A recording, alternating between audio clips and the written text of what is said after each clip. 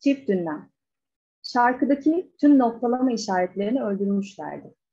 Ter içindeydi uyandığında. Biraz günahkar, biraz masum rüya.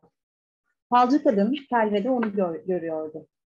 Bir çift ünlemin ardında saklananları, söylediklerini, söyle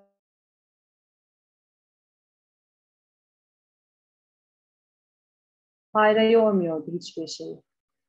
Sevgili Rüya, her şeyi biliyor, bildiğin halde soruyorsun. Evet, savaşıyorum.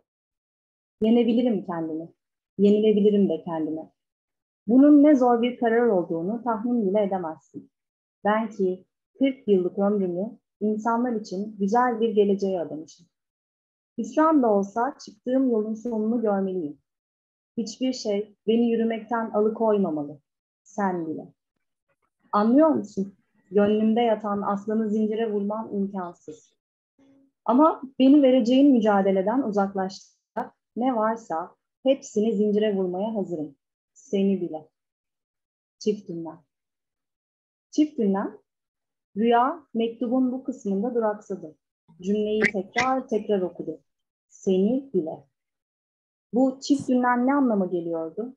Böyle bir noktalama işaretine daha önce rastlamamıştı. Sözlüğü raftan indirdi, ünlem işareti maddesini buldu. Aynen şöyle yazıyordu. Ünlem işareti. Sevinme, kızma, korku, mutluluk, şaşkınlık gibi aşırı heyecan bildiren ifadelerin sonuna konur. Ayrıca çağrı, emir, hitap ve yasaklama bildiren cümleler, cümlelere de ünlem işareti konur.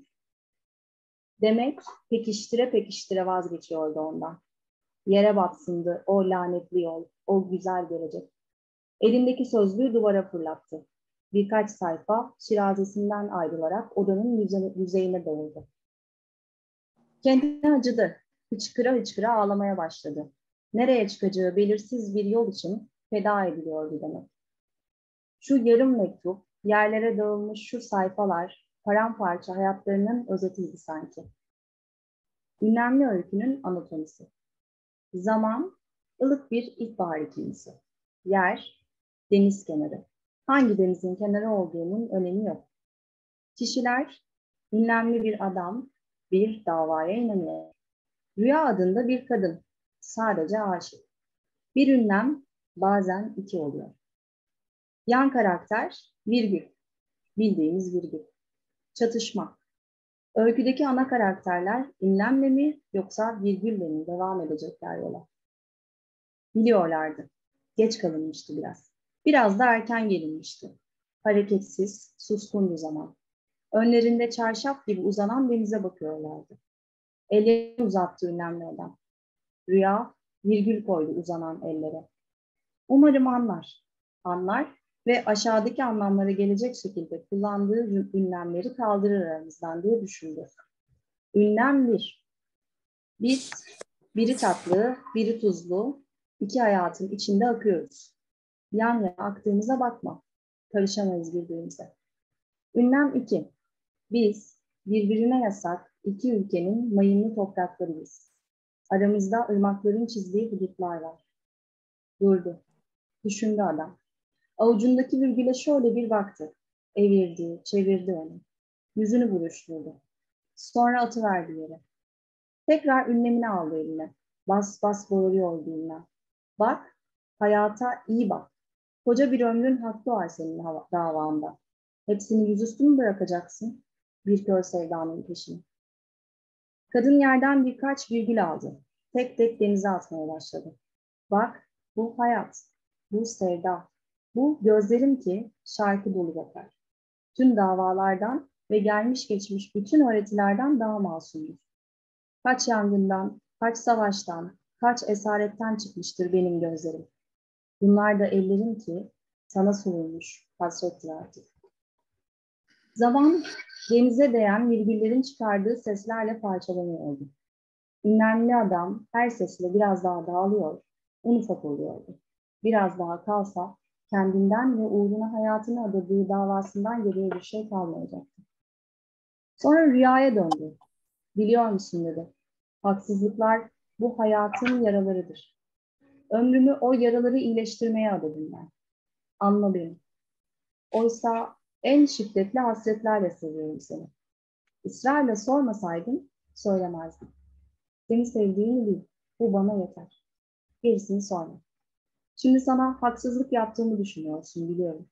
Fakat sonu belirsiz bu yola seni de düşüremem.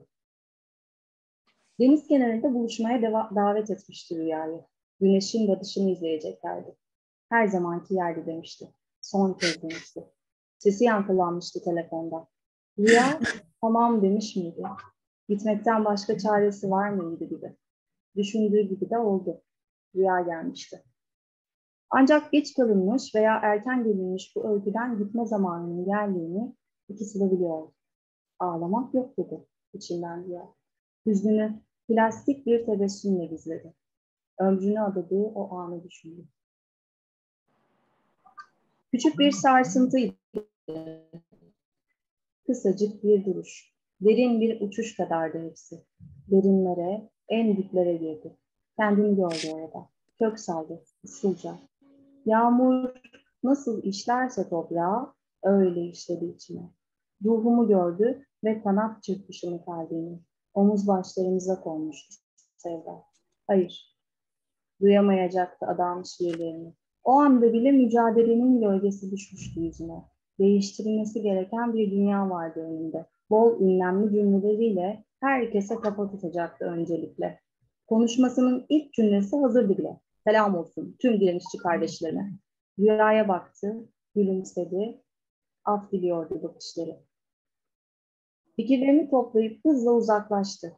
Ortalığı saran hüzünlü şarkılar, yalnızlığı iyice görünür kılmıştı şimdi. Geçecek dedi. Azıcık sabır. Acı dinecek. Yeryüzünün ilk ayrılığı değil ya. İksir yokmuş dudaklarında. Yolundan, davasından alıkoyamadı onu. Bir kurbağa sesiyle çınladı rüzgar.